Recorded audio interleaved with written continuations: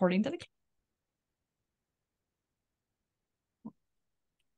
Hi, everyone. Welcome to Entrepreneurs in Action, a program hosted by the Menomonie Area Chamber and Visitor Center. I'm Ashley Demuth, CEO for the Menomonie Area Chamber, and today I also have Melissa Anderson, Program Manager, with us. Uh, we'd like to thank our sponsor for Entrepreneurs in Actions, uh, which is a portion of our Business Professionals program. As you can see, we have Xcel Energy. Thank you so much to Xcel uh, for helping us inspire entrepreneurs and provide them with resources for success. So, a few housekeeping items before we get started. For those of you who are joining us live, uh, we do have the chat box open. We do ask that you include questions in that chat in live time, um, and we will be asking those as we move along. We recognize that when we do Q and A at the end, uh, sometimes they're already answered or we get missed or you know fleeting thoughts and such so just go ahead and add those questions there in the chat box. The replay for this is included on our uh, social media channels in YouTube, as well as on our website under the Entrepreneurs in Action tab. Uh, so you can go ahead and rewatch these um, as time goes on. But thank you so much to our guests for joining us today. We're going to kick off learning a little bit more about them and how they support entrepreneurs.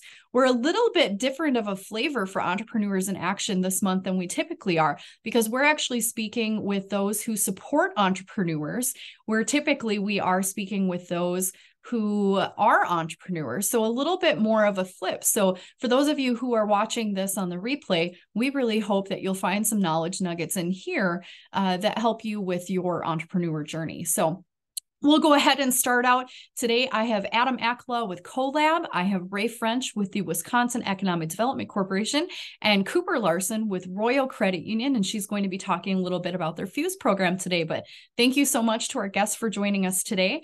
And what I would love to do is go ahead and just really kick it off. Um, Ray, will start with you. If you could just tell us a little bit about your role with WEDC and how you support entrepreneurs. Great. Thank you, Ashley. So my name is Ray French. I'm a regional director with the Wisconsin Economic Development Corporation, and I cover uh, seven counties of western Wisconsin. We are the statewide uh, lead economic development agency, and in my role, uh, I cover a few areas working with uh, businesses and small businesses, and then uh, communities on a number of like redevelopment projects and community grants. Uh, other areas of WEDC do work with entrepreneurs and entrepreneurship partners.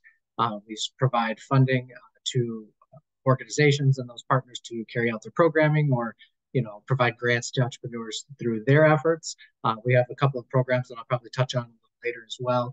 And then we've got a whole other area of, of WEDC that that covers um, you know exporting and, and et cetera for when businesses grow to to that level. So uh, we kind of cover the kind of you know the whole life cycle of, of businesses and uh, um, excited to share more of our resources and other things going on in our region uh, with you today. Thanks.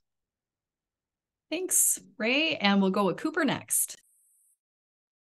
Thank you. So yes, I am Cooper Larson. I'm the Community Financial Education Coordinator at Royal. And what that has to do with entrepreneurs is part of my job is I get to put on a program called Fuse, which stands for Future US Entrepreneurs. And so Royal does that with middle school students to really give them an opportunity to start building a business, um, learn what that might be like and how they can contribute through um, their business and their ideas to their community. Um, and we do also have a really large um, kind of bank of resources too on Royal's website. So um, Royal is a big supporter of small business. We have a whole team dedicated to it, but you know, products and services aside, we do have those really great resources that even if you're not doing business with us from a business standpoint, you know, we have places to go to start a business. Where do you find, you know, business planning, all of that. So highly recommend visiting our website and kind of using that stuff too. Thank you, Cooper. And last but not least, Adam with CoLab. Hi there. My name is Adam Akala. I'm the community manager at CoLab in Eau Claire. We are a community co working space focused primarily on startups and entrepreneurs, but we also have a large community with those startups and entrepreneurs, as well as remote workers, nonprofits, students, and other solopreneurs and freelancers. And so We are a co working space in downtown Eau Claire, meaning that we have flexible office space and short term office space for uh, people that need it either just to get work done, meet clients, get their business off the ground. Um, and then we have everything up to private offices in our current space. So um, we act as kind of uh, a starting point and a hub for entrepreneurship and a connecting point within the entrepreneurial ecosystem in the Chippewa Valley.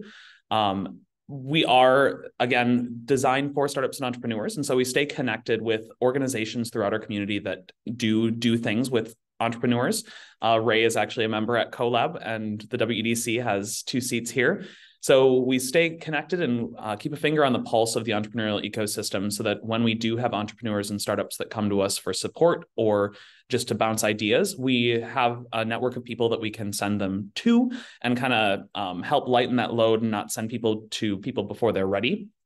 Um, and uh, kind of help startups and entrepreneurs in that way. So, um, I will mention as well, CoLab has recently uh, purchased a franchise. And so we will be becoming uh, the Coven Eau Claire. It's a brand out of the Twin Cities. So adding some additional infrastructure to our operations side of things, as well as giving our members expanded access to more co working spaces up in the Twin Cities. And as that brand starts to expand, access to those locations as they do grow. So um, kind of an exciting change and shift for what's going on with the CoLab, uh, soon to be the Coven Eau Claire. And so, Adam, I'll start out a little bit um, talking with you about CoLab. How did the idea come about? Obviously, this was a very innovative solution that was brought to Eau Claire here. Um, there's nothing in the immediate area like CoLab that I'm aware of. Can you talk with us a little bit about the journey of how CoLab came about? Yeah, so CoLab is one of the businesses that's owned by Pablo Group here in Eau Claire. And so uh, the founders of Pablo Group thought that, or saw a need for space for startups and entrepreneurs to kind of launch those business ideas and have that low cost, low risk, short term option for them to have a professional place to meet clients, to receive mail, to do those very businessy things that can sometimes either happen in an office in your home or in a coffee shop but give people kind of that dedicated space where work is being done and businesses and ideas are getting launched and off the ground. And so back in 2019, April of 2019, they started CoLab at our old location, which was actually um, the original launch pad for Jamf software. So already had kind of some good vibes going for it and was a good uh, space for that startup startup incubation. Um, back in 2022, so about a year ago, we moved to our current location in the Barstow Commons building in downtown Eau Claire, expanding our space to almost double and allowing us to grow and scale our membership in that time. And so um, between opening and now, obviously, we had the pandemic, which really shifted how people worked. And so we've seen a lot more remote workers, especially in our new location. Um, with people working for companies kind of all over the place. We just had somebody join from Apple uh, we have a couple software employees that work for companies out of the Silicon Valley. And so we're really seeing people from all over um, the United States as they move to Eau Claire because of the lower cost of living here in the Midwest. And I mean, the beautiful city that we have. Um, finding our space and really setting up um, setting up not only their businesses but also just kind of their operations to establish an, a professional network here um, as they become new members of our community. And then we have one more move planned actually for a year from now. We'll be moving to the old Antique Emporium building here in Eau Claire and be taking over the third and fourth floors of that. So we're really excited for that change. Um, and that that was the original plan, but this space that we're currently in allows us to transition and scale in the interim so that we're able to move into that space and be kind of a right size fit for it. So lots of changes, lots of like innovation things going on within our business, but we're also here to support startups and entrepreneurs as well. And really, you're giving them the physical platform for that. They can go there and that can be their incubator space. Correct. And we don't necessarily consider ourselves an incubator so much because we mm-hmm. aren't providing that mm-hmm. direct technical assistance or kind of adding those programmatic elements to their experience at CoLab. But we do act as that touch point, making sure that we know who to send them to if there are questions and who can best help them and their situation based on where they're at as an entrepreneur and where their business is at kind of in what stage. And that's really where you're providing some of those resources out, maybe connecting them to Ray at WEDC or even at Cooper at RCU to talk about some different programs that help support them. So let's segue a little bit into what that looks like. So, Cooper, with the Fuse program, talk with us a little bit about what that looks like from a mentorship and education aspect. Yeah, that's great question. Um, first, little plug for CoLab. I got to actually go there. Um, one of our partners that we do Fuse with quite a bit, um, he runs his business out of there sometimes and had an event for families. And it is the most beautiful space you will ever see. Um, and I'm not just saying that, like, I was like, hmm, maybe I need to start working here, right? It's gorgeous. And they were doing all sorts of fun stuff too. There was like trivia on the boards, maybe a breakfast potluck thing that was happening. Um, so it kind of gives you that sense of community too that you can be missing when you're just remote, right? So I just want to put in a little plug for them because I think they're fantastic. Um, but Fuse, so the whole um, kind of purpose behind Fuse is it's an opportunity to give middle school students, tends to be our audience, um, an opportunity for real world business experience. And so it started back in 2015 um, in partnership with our business lending team. And what we did was kind of put together a program that goes through what are all of those steps that you need to start a business, right? Like you're never too young to start a business. Let's start encouraging that, you know, thought process when these kids are just starting out. And so um, the curriculum is between four and six weeks, depending how many kids and kind of what the competition looks like. But it um, you know, couples the business plan creation. So we have a business plan template where we walk through, you know, what's your product or service? How do we come up with it? How do we market it? How do you price it? Right. Um, especially some of those areas where, okay, it might cost you $2 to make it, but just charging five doesn't really account for your time. Right. So we talk through all of those little pieces. Um, we have a mentorship portion of it where we bring in our small business lending team. So whether it be um, some of our underwriters or our actual small business lenders or some of that support staff. Um, and they work with groups of students to really help them come up with like a legitimate business idea. Um, and so they're working with them on pricing. They're connecting them with resources. They're teaching them where do you go to find, you know, the little containers you want to put your lip scrub in, right? Like they work through all of those things. And then students um, ultimately work with them too on their presentation skills. So they come up with an elevator pitch. I usually make them do a resume, which can be a weird thought as an entrepreneur, right? But it's really good to get that all written down um, to be able to give it to the judges, where we do a little Shark Tank style competition at the end. So we bring in um, some business leaders within the community. Um, Ramon's Ice Cream, um, their founder is a big one. He usually comes in and is a judge. Um, and it connects them with that like business world too. So these entrepreneurs themselves get to see these kids with these big ideas and then um, you know, they've made connections before where they're like, well, you know what? Why don't you bring your product to my space so we could sell it in a little corner or like things like that. So um, it just really gives them a full rounded experience, both educational, but giving them those connections, which as an entrepreneur, like it's all about who you know, right? And we know that in life in general. So um, it bridges those two gaps. And so, Cooper, with that, obviously, you're creating the future entrepreneurs. You're creating the folks that are perhaps going to Ray to WEDC to mm-hmm. Adam in the future. Um, have you, how long has the program been running 1st mm-hmm. And added to that, have you seen some of those students actually emerge into an entrepreneur career after going through Fuse? Yeah. Um, so the program um, was developed in 2015 and then actually launched then. So we've been doing it um, every year since then. Even during COVID, we took it virtual, which was um, interesting, but it ended up working out really, really well. So we um, have done it from that aspect. As far as the students, you know, they are I am amazed every single year I do it because every year I'm like, okay, the kids cannot get better. Like, there is no way there's going to be smarter, more creative kids. There always are. And they're ideas and abilities to come up with either you know just the idea like and present that or the actual tangible product or service is amazing so we have had a few students um, who i don't get to keep up with them all the time but have created um, one i can think of is uh, he might still be doing it his name is wes he ran eau claire bike ads and so he had a bike. He made this frame with his dad um, that he would work with local businesses, work on getting a printed banner that would fit on his bike. And he would bike around town or go to some really key places that they wanted him to um, go. Like, sounds like summer's a big one.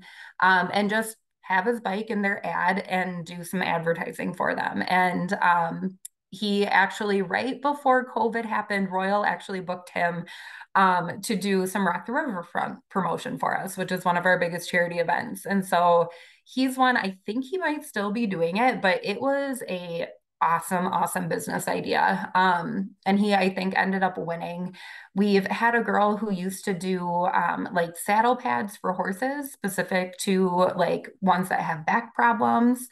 Um, we have a student who runs a clo- clothing business called Jaws Drip, and he does all sorts of different custom tie dye and different things like that um, for students at school. So a lot of them have started run successful businesses, might have let it go, you know, as they get into high school and get busy, but um, a couple are now in college that I've had their mentors chat with a little bit and are either going to school for business or entrepreneurship that are going to do big things. So, yeah. I think anytime we're talking about youth getting involved in those type of programs, it's just it, it's magical to hear about the excitement and the innovation and and coming up with some of those ideas that even as adults, sometimes you know it's kind of the the writer's block, you know, where they they just really see it in a different perspective, and we need to bring more value to that. Yep. Absolutely. Yep. And they're not afraid to do it. I think that's the biggest thing with like entrepreneurs. Like just do it, jump in, right? If you're passionate about it. So I think that's the advantage these kids have. And, and so if I just be able to say too, I think one really great thing about the Fuse program is that they're connecting these students with local entrepreneurs and people that are building their businesses right here in the Chippewa Valley. Because we, I think a lot of times we think that we need to leave Menomonie, we need to leave Eau Claire, we need to leave this area and go to Minneapolis, go to Milwaukee or Madison to be able to start up that business. But these things exist here, and the RCU Fuse program shows students that you can do this here. You don't have to move away.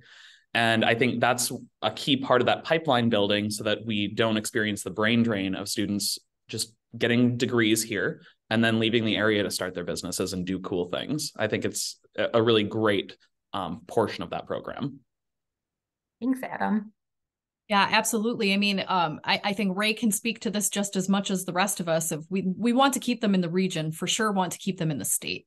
We don't want to lose them to Illinois and and Iowa and Minnesota. We we want to keep them here here in the dairy state. So, um, so obviously adam you're giving them a physical location. Cooper you're help building those future entrepreneurs. And, and ray you're kind of dealing with them in the thick right as as adults or, or young people who are moving forward. So can you talk with us a little bit ray about resources as well as funding opportunities that exist with wedc sure. So i think uh, as they're kind of hitting on Chippewa Valley is an incredible place to start a business. There are so many other entrepreneurs, there's so many people doing the same thing, and there are so many resources available to people who who want to start a business.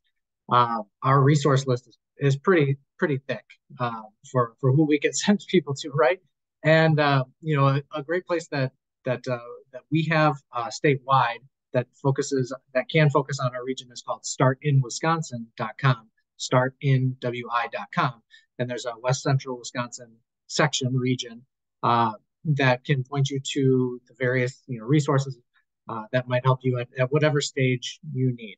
Um, and so you know a lot of that might typically be the the Small Business Development Center. Um, or you know Western Dairyland, you know across the region there are so many different uh, providers geographically, uh, and so that kind of gives you a good place to start. Uh, but having touch points like uh, like CoLab or you know through the university you know, there's a lot of discussion and, and just knowledge sharing through those resources of, of who to go, where to go to. So there's, you know, again, Small Business Development Center is always a key key one, whether it's based in UW Eau Claire or UW Falls. Uh, Western Dairyland serves a lot of entrepreneurs in rural areas as well. Um, and that's just for business planning assistance. Um, there's a lot more when it comes to your different stages of uh, starting a business. You know, there's things like the uh, Chippewa Valley Innovation Center, which is a manufacturing incubator in the Chippewa Valley. Um, you know, CoLab is also home to to the Venture Home Accelerator program. Um, so there's again lots of programs and resources available. Um, you know, the the big kind of challenge I think is uh, when you know folks are looking for uh, financial resources starting a business. Um, you know, we had uh, the Main Street Bounce Back program, which was very successful. And so a lot of folks are still kind of in the, well, what grants are out there right now? And, and you know, I think that was kind of a, a flash in the pan a little bit. And so, uh, you know, we're still trying to, to figure out how to best serve uh, entrepreneurs. And so, I, you know, WEDC itself, you know, we're funding a number of, uh, of our partners, whether it's the Hmong Chamber or the Red Letter Grants to expand their grant offerings. Uh, and, you know, support other programs, you know, whether it's, you know, uh, in, you know, like a, a, business plan competition type of thing that, that you know, are around the, the region. Um, so we have a few of those things. We, again, provide technical assistance um, to entrepreneurs and to those, those support organizations.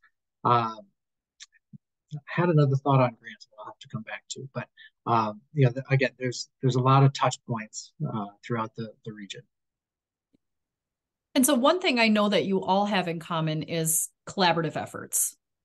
Let's talk a little bit about what collaboration looks like to you and perhaps talk about some of those organizations or entities that you you do business with, right? Essentially for entrepreneurs helping to provide education, the mentorship, um, you know, just even exposure in the community. Ray, can you talk with us a little bit about what collaboration means to WEDC? Sure. So, I mean, I think that's where uh, our most creative solutions are coming from. And that's, I think, where we'd like to see a lot of the programs that we funded, uh, you know, utilize the partnerships because we all know that, you know, not every entity or organization has the expertise uh, to do a lot of those things on their own. Um, so in a in a previous role that I was in was uh, with WiSys, uh, which is the uh, technology transfer organization that serves the UW system.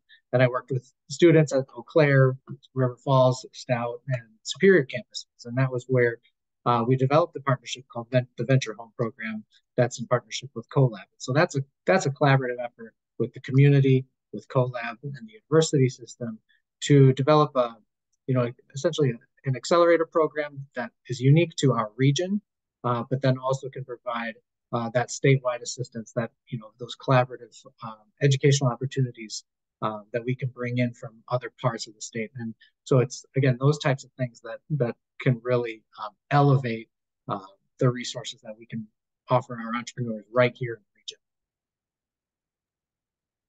And Adam and Cooper, talk, how about you for collaboration? Well, funny enough, we collaborate a lot actually. um, if and I'll let Adam kind of get into the details of it, but you know, for us, we collaborate with pretty much anyone for food. So it's schools, it's after school programs. It could be, you know, a community mentorship group, right? Like we bring together all of those people. Um, and then Startup Chippewa Valley Week is a really big thing that we partner with CoLab and we sponsor and um, do a lot of the education and stuff around it. And I think that's for us, you know, as a financial cooperative, like we're just trying to pull the right people together to give people the best resources that we can, right? So, um, while yes, we would love your business checking account, right? Like that's not the important thing. It's providing those workshops and education and pointing you to, you know, Wisconsin economic development to say, hey, they've got these really great resources for starting a business plan, or you know what, let's circle back to Adam, and I bet he might know some, you know, resources for grant funding coming up. So um, that's kind of, you know, Royal's foot in the collaboration piece. So Adam, take it away. Yeah, and I, I mean, I've definitely been on the receiving end of Royal's kind of collaborative nature. Um, even with some of your business bankers just showing up to things, um, our local banks are actually very engaged in kind of our startup ecosystem where we have business lenders from Northwestern, we have business lenders from Royal Credit Union that are coming to events and engaging on the ground floor with those startups and entrepreneurs. And that's that's really been an excellent part is having some of those resources in our back pocket that it's not an area of expertise for me personally or for our staff here at CoLab, but having those community partners that we can call up and say, hey, I have an entrepreneur that's experiencing this. What's your recommendation? And often it's I'll come down, I'll come down to CoLab and we can have a conversation and sit down with them and really talk about what their needs are. Um, so that's been a really excellent um, relationship with with our local bankers, uh, business bankers. Um, as Cooper mentioned, Startup Chippewa Valley Week is a big week of celebrating, connecting, and educating entrepreneurs throughout our region. Um, it's part of the larger statewide uh, Startup Wisconsin initiative. So every November, communities around the state gather um, their resources, gather their partners, gather community economic service organizations to put on programs that connect, celebrate, and educate entrepreneurs. And so that's everything from workshops, networking events, pitch competitions, award ceremonies. Um, so some of the events that we've hosted in the past during Startup Chippewa Valley Week are um, the Hatch Pitch Competition with the Chippewa County Economic Development Corporation, the Red Letter Grant Awards for female entrepreneurs in a 10 county region here in Western Wisconsin, um, workshops on legal issues surrounding startups. Royal Credit Union has often done a Getting Financed uh, workshop where they just talk about business finances and the things that you need to consider when going for a business loan or a business line of credit and kind of determining which may be the better option for you at the stage that you're at.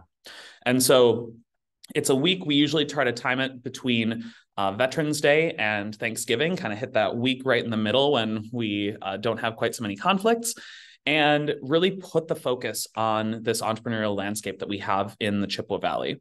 Um, engaging with communities like Menomonie, like Chippewa Falls and Altoona was something that was really important to me. And we made that shift back in 2021 when we moved from Startup Eau Claire to Startup Chippewa Valley, because there are so many resources and organizations across our region that are doing amazing things and we don't need to be duplicating each other's services. We don't need to be kind of treading in each other's territories because that collaborative nature and collaborative effort in our region is so strong. And that was one big thing that colab really made sure that we uh, set up front was we're not here to reinvent the wheel we're not here to duplicate or replicate your services we're here to provide that space for entrepreneurs. And then if there is something that we can do on top of that that does fill a gap, we're happy to be a collaborative partner in that.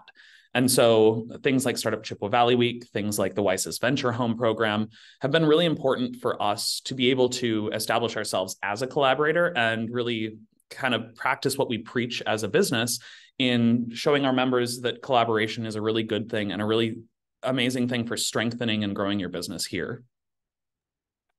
Yeah, I know we've been um, we've been very thrilled and blessed to be part of Startup Chippewa Valley and that expansion into really focusing on the region, right, versus just little pockets here and there. And I think that that helps people understand just a little bit more about the additional support services that are out there. That's it's yeah, and I mean, in this virtual hybrid world, it makes a lot of sense that we co-promote each other's things, especially if you can just join from your computer here rather than needing to physically drive to Eau Claire to get all the resources that um, exist here. You can pop on your computer, watch a workshop, and then go right back to your job. I think that was a really good um, kind of way to talk to. So, you know, like I said, as a financial, you might have that idea in your head where it's like, oh, I can only go to Royal and they'll only, you know, help me with what they can. But Adam talked about how involved the business lenders and business, um, you know, representatives are at the financials here in town, which is so true. Like they want to be at everything. They want to get to know you. They just want to be someone that you're willing to go talk to. Um, and I know something that our business lenders always say is like, come talk to us because even if like Royal can't provide exactly what you're looking for, we know who can, you know, so we're going to say, actually, you know what, so and so at XYZ Credit Union, they are experts in that. Like they're going to help you go over there to them. Or, you know, so and so at um, said, you know, bank, they know how to do that or we'll have more information. And so um, I think that is really cool. Like we do know what everybody else is kind of doing. We can point people where they're going to best get served. And Um, that's important for people to know. So don't be afraid to just like ask your financial, they'll help you. And yeah, that really excellent. Uh, excellent points, and just um, reiterating that, that we have a great community banking system in the Chippewa Valley with excellent lenders and great partners. And um, touching on collaboration and the other funding part that I forgot was I was going to put in a plug for the Regional Business Fund, which is also another major uh, supporter of entrepreneurs and small businesses and a great partner to the financial institutions uh, for lending uh, in in the region. Sorry, I don't know if you can hear my cat just decided to start whining. coworker, Anyways. your coworker. Yeah, my coworker. Yeah, she's here. Um, wants attention. Uh, so so yeah, the regional business fund. Um, they'll they'll be uh, they've got a micro loan program uh, for entrepreneurs, and then some larger pots for uh, small businesses as well. Um, oftentimes working alongside one of our community lenders as well. So, uh, great partner to to to promote here too. So obviously, Ray, that isn't your program, but can you provide just a little bit more context about what RBF is? Sure, sure. So the Regional Business Fund is a uh, consolidated lender of essentially economic development type funds uh, from across the region, and they serve uh, most of our region, um, it, pretty much outside of the city of Eau Claire. Um, they'll serve as well as I think you know, depending on where who's seeing this, you know, Pierce County isn't uh, is also not included, but you know, Eau Claire County, Dunn County, Chippewa County, they're all they're all served, St. Croix County, etc. So they're a lender. Um, they work with uh, businesses on uh, you know operating uh, funds, uh, capital expenses. Um, they'll work with them with small businesses on uh, you know being part of their uh, SBA lending as well if there's a component there. Um, so they've got a number of programs for just straight up small business loans. They've got again a micro loan, which is a smaller loan pool, uh, but is more flexible financing for an entrepreneur in their startup phase. They'll also do downtown facade loans, etc. Uh, there's two main contacts there at the Regional Business Fund, um, and, but the uh, you can reach them at rbfinc.org. Thank you so much for that information, Ray. And I think um, finances really come top of mind for me um, when we talk about challenges or barriers to overcome for entrepreneurs. Can you each share just a little bit more? Obviously, we know money is money is one of the top ones, right? But what are some of the other obstacles, challenges, barriers that you hear on the entrepreneur end? Uh, um, you know, no matter what part of the entrepreneur journey people are in. One thing that's kind of been a, a consistent thing that we've heard, and kind of why we why we do what we do in terms of just kind of having one-on-ones with entrepreneurs that are looking looking to start a business, they've got an idea and not quite sure where to go with it, is that people don't quite know how to navigate the resources that do exist. They don't quite know what stage they should be at before they talk to the SBDC to start doing their business plan and modeling their financials. Um, they don't quite know whether or not the red letter grant is the the right first step for them, or if they need to go somewhere else first uh, to really refine the application materials for the red letter grant. So I think navigation of our entrepreneurial ecosystem can sometimes be a sticking point for people where it just it gets a little overwhelming if you just do a Google search for entrepreneurial resources that exist because there are so many. And so knowing where to go and when has kind of been a consistent sticking point that I've noticed um, through some of the work that I've been doing. I know. So while business, you know, finances aren't my complete realm of expertise. We did just record a podcast with a couple of our business lenders, and I know a few things that they were talking about. Um, is you know one that cash flow right so like understanding where money's coming from kind of where it's going and with shipping delays and things like that even if you're a really strong business you know you can still be kind of um, experiencing some of those problems and so you know, understanding what services, what products are out there, those um, business lines of credit and stuff to kind of help bridge that gap. Um, so understanding there are solutions. So go talk to your, you know, community banker, um, your business lender about that. Another big thing is when do you actually go talk to your financial, you know, because do I have to have this like really fancy dancy business plan with everything meticulously laid out? No, it's almost better to come talk to us like while you're in that process. And something a lot of people don't know, especially entrepreneurs, is you know, business credit, business lending is based heavily off your personal credit, especially starting out. So until you can establish that relationship and history. And so if there are some things from your personal finance aspect that you have to get in line, coming and talking to us and figuring out, okay, you know, let's get you to meet with this person. Let's look at, you know, cleaning up these couple of credit card debts and things like that um, is really important so that you don't get to the point where you like need that funding right now and ooh, maybe you can't get it, right? So um, the earlier the better to start talking to us.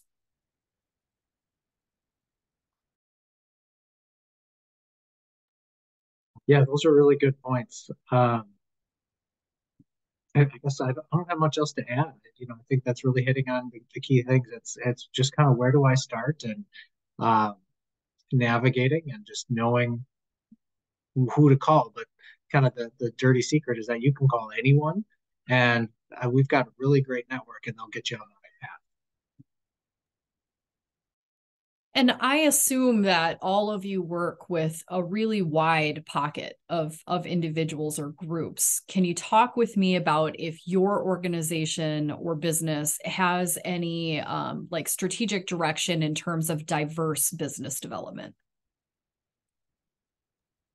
Yeah, uh, a major thing that we've put a focus on is making sure that we have resources for marginalized and underrepresented entrepreneurs and contacts that we can um, send them to if we don't have the existing resources or know somebody in our local community. And so um, a big part of kind of our strategy at CoLab has been engaging with our statewide diverse chambers of commerce.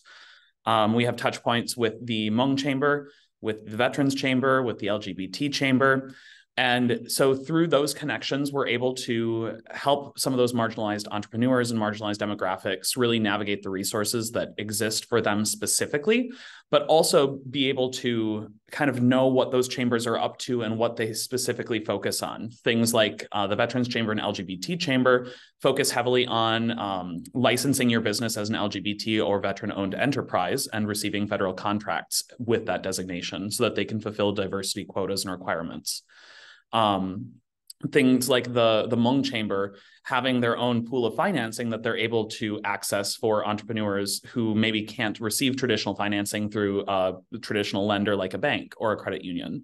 Um, and just understanding kind of what the focus of each organization is has been really important so that we're not unnecessarily sending someone um, to the Hmong Chamber that it, it maybe doesn't fit exactly what they're trying to do. Um, and so, kind of keeping that pulse on some of those organizations that are focusing on underrepresented entrepreneurs has been really important. Um, another one that I have been involved with for the past year or so is the UW Entrepreneur in Training Partnership. So, it's a statewide partnership through the UW system of extension.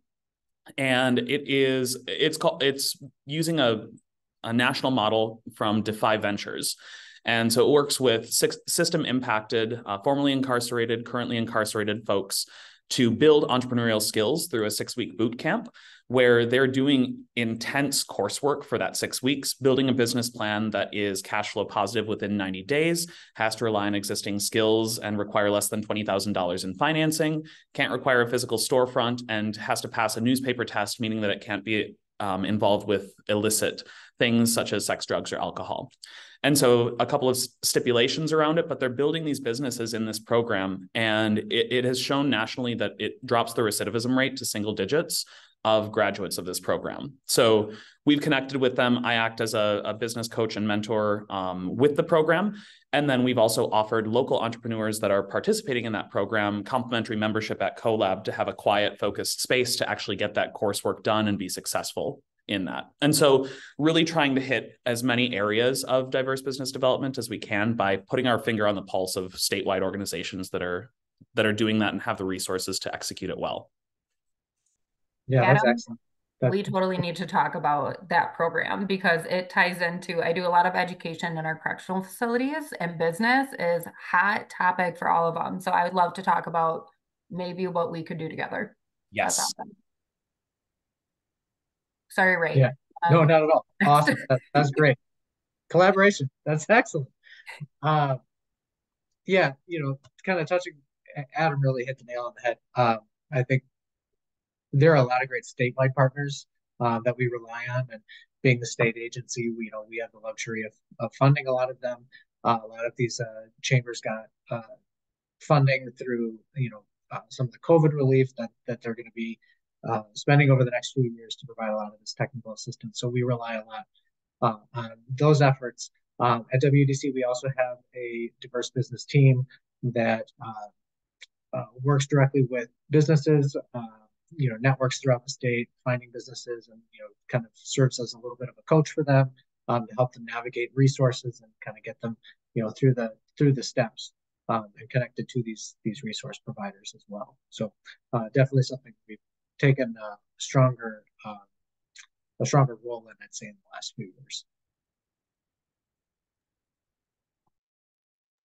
Yeah, um, you know, from a Royal standpoint, it can kind of go, you know, two different ways. Like as a business lender, there are certain businesses we don't um, you know, lend to or touch in like those certain um I cannot for the life of me think of the word, like industries and things. But um, I will say we partner for education with pretty much, you know, anyone. So looking at some of those diverse businesses and um, making connections with some of the Hmong groups. We have uh, team members who are super connected in that world and want to do education and bring us into it. Or um, Power of Perception is a um, organization in Eau Claire. They are a mentorship group for African American and biracial youth. One of our strongest Fuse partnerships. So we are constantly doing Fuse with them each year to help those students build businesses and you know ultimately show them like what the possibilities could be. So um, you know i think Royal's just always willing to be a partner and you know provide those resources needs or connect up people with who can provide those. So that collaboration piece ties in big too so Cooper, my next question, I'll start with you because I, not that I'm not excited, Adam and Ray, to hear your response, but I, I think that this will be um, entertaining in a sense. But what would you say is the number one learning lesson that you hear from entrepreneurs that you work with? So, Cooper, in the Fuse program, you're working with middle schoolers. Like, what is something that it was like, oh, I would, I just, I never would have known that, or that education or that knowledge nugget, they just had no idea. And it was kind of mind blown, or um, something that they did and had to maybe it was I, I it's never a mistake right? It's a learning lesson. So talk to me about students first yeah, well, if any of you have worked directly with middle school students, you know, that's pretty entertaining in itself, right? Um, they can be a hard group um, to kind of get engaged, especially if they're like, they have to be in the program or that kind of aspect. But, you know, I think thinking about all of the different programs we've run and the students we've worked with, it's it's them actually thinking that they can do it, right? So I think that's the one thing that they learn is that they have the ability to put this together. They start with that, oh, I can't do this. It's too hard. I don't know how to, you know, make a business that makes body lotion, right? But giving them the tools and the encouragement to say, okay but i bet you do like let's let's just start with a google search and they're like okay fine i can google right um so i don't know if that's like the most entertaining but watching them realize they can do it like even if someone else has already thought of the idea you can probably do it better right like that's why you're thinking about it um, so I think that's my favorite part of working with them and watching those businesses develop and then grow, you know, or learn that they can refine it. Um, Elijah is a student from Power of Perception who runs Jaws Drips, and he participated in Fuse for three years in a row. The first year was really establishing, you know, his business. The second year, he refined it a little bit more, you know, got a little bit better into marketing, created that logo. That third year, he started adding some new products and some new designs and different mediums that he could do it. So he went from tie dye to incorporating a Cricut and all of that kind of stuff. So um, watching them kind of get that confidence and then grow and learn that like they can grow a business too, even at a young age, is always really cool. And how do you train them at that age not to fall into a scarcity mindset? something you said really resonated with me of if somebody's already doing something similar, right? Maybe you could do it different or you could do it better or you have a different innovative spin on it. So that scarcity mindset could set them back. So if we train them at this age not to allow that to become a barrier, they yeah. can flourish even more. Absolutely. Adam, Ray, what are some of the learning lessons that you hear from entrepreneurs? Might be a little cliche, uh, but but it's um, they realize that um, that they could have taken advantage of a mentor or a community. And I'm kind of stealing community from Adam because that's what they're all about is building a that community. Um, but that that's something where he's like, ah, I wish I'd had a mentor or uh, you know, eh, or getting to that point where they they want to give back because they know, oh, you know, that would have been really helpful for me, is to have a mentor or somebody that I could have, you know, could have been my coach. Um, so just knowing you're not alone and that you don't have to do it alone, you you're in it and you feel like, oh, I got I got to make this happen. But you you know you you've got to. There are people and that want to help, and you're not alone. Uh, they could be other entrepreneurs. They could be a you know someone who's done it before uh, and just wants to give back to. And Ray, you literally took the words right out of my mouth. That you, you don't have to go it alone. Uh, we I co-organize One Million Cups here in town, which is a weekly entrepreneurial meetup that happens at CVTC and then in the summers at CoLab. Um, where we get together, we hear from an entrepreneur each week that is five or less years in business, and it's an environment where they're encouraged to share barriers that they are experiencing, hurdles that they're trying to overcome, connections that they'd like to make, um, things like that, where it's a more supportive environment than a kind of Shark Tank style trying to poke holes in your business um, environment. And oftentimes we will will mention resources that exist in the community, and the entrepreneur is like, I had no idea that that existed. And it, it's just you don't have to do all these things. You don't have to navigate everything all by yourself. There are people in the community that are willing to help um, your financials, your service providers, your ecosystem connectors uh, that are willing to help you navigate what we have here. But also, other entrepreneurs, in my experience, have been more than willing to share their knowledge and act as kind of maybe not quite as formal as a mentor or as like long lived as a mentor but at least offer some feedback and initial advice as people are starting to get their businesses off the ground and out of that idea phase. And Adam, I know I know we're not supposed to talk about time sensitive things. Um, so maybe this is something just generally you could you could hit on. Um, the new the newish uh, effort for the uh, the the screw up nights, if I can use use the I don't know the, the correct you know proper version of that. But uh, it's a place where they can, where entrepreneurs or people are talking about ways that they've screwed up and how we they can learn from that. Are there? Can you uh, can you talk more about that, or just you know things that have, have been shared already um, through that event? Yeah. So I also run a quarterly meetup called F Up Nights. Um, it is with the F word if you are looking it up. um, but F Up Nights or Fun Eau Claire. Um, and so it's a global movement actually that is all about celebrating um, and de- and destigmatizing and normalizing failure in the professional world. And we all fail, we all screw up but oftentimes those aren't the things that we talk about. We see the shiny object that is created from someone opening their storefront for the first time, but we don't know all of the mistakes and the things that have been made to get to that point. And so this offers a platform for people, entrepreneurs, professionals, people in our community to share stories of professional failure and for the audience to ask questions of that person that's willing to be vulnerable and show that it's normal.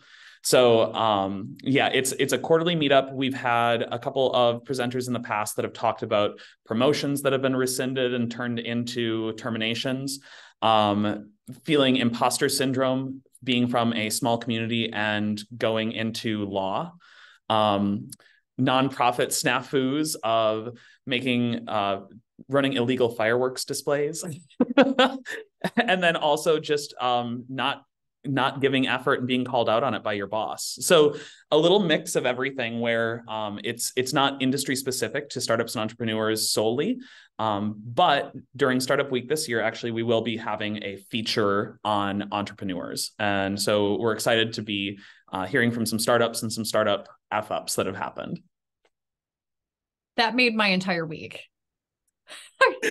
no idea. No idea. I had no idea that this existed but but what a great platform right? Because like you said those those failures are and and i'm i'm huge at it's mistake failure it's a lesson right? It's helping you grow. You cannot grow unless you fail in some sense of the word correct?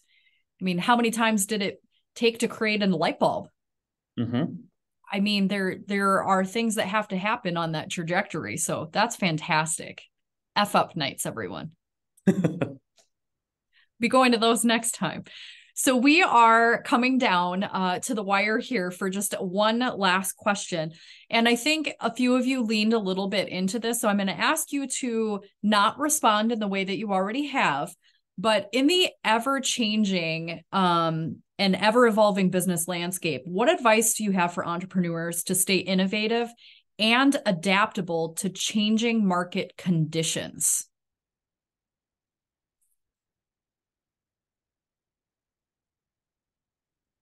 Don't all jump at once. Well, I, I we often see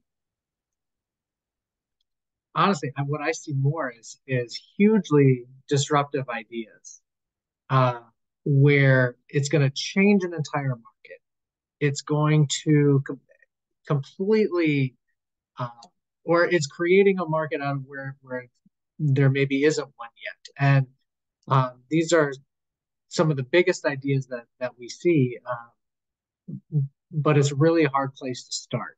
Uh, and and so I, this is just what came to mind. And so I think, you know, as you're you know changing the face of whatever it is you're going to disrupt, um, you do have to start somewhere, and you're not going to blow it all up immediately. And so there does need to be steps taken in the in the interim as you work on that big vision to demonstrate some, you know, market validation to start to get some customers. You're, you know, because it's you've got the, the grand plan, but then it's okay. You're going to totally change how we do X in our lives. How how is how are we going to get there over 10 years, not six months? And disruption can be a very positive thing. Absolutely. Yes. Very positive. You know, I think back to um, the pandemic kind of being a really good example of how do we shift for what's happening right now to still be successful. So um, I come from a family of small business owners. One is a bar restaurant. And so watching the whole state shut down that industry and then have to figure out, oh my gosh, how are we going to make money, stay open, pay the bills, pay employees, right? And so I think we could learn a lot from like just knowing it's possible, right? Like a lot of times, you know, we can be in that situation where we're down to the wire, it's the quick, abrupt, have to shift our thinking. But sometimes we have more time. So staying up to date on that and being willing to to go with the change, right? Like don't stick with the oh, we've always done it that way, but also think about how have you always done it? What's one little shift that you could, you know, tweak to make that more possible? So um, I don't know that that's like great, you know, advice. I kind of probably already said it, but I think it's just, you know, staying agile, knowing it's possible and taking it as it comes, right? I think too something that we've been uh, talking about recently is succession planning of existing businesses, and um, entrepreneurs having an entrepreneurial spirit doesn't mean that you have to have an original idea right this moment. It means that you can run a business. And if that is that means purchasing a business that exists because the owner is looking to retire or phase out of that business that's also a completely viable option. And sometimes those businesses aren't the sexy shiny c-suite operations where you are an executive in a corner office but they are things like porta potties and trades businesses and things that are necessary for our community to function but not necessarily things that people think of as like the sexy, shiny object that they want to get involved in.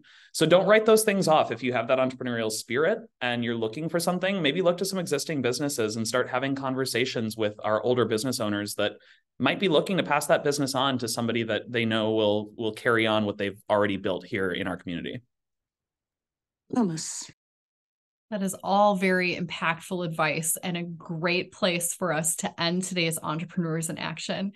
Um, so, of course, we could talk on for hours, um, but I definitely appreciate all three of you joining us. For those are who joined us live, as well as those who will watch this playback. If you would like more information for WEDC, CoLab, or RCU and the FUSE program, please don't hesitate to reach out to us. We're happy to connect you. We collaborate with all three agencies in different ways as well.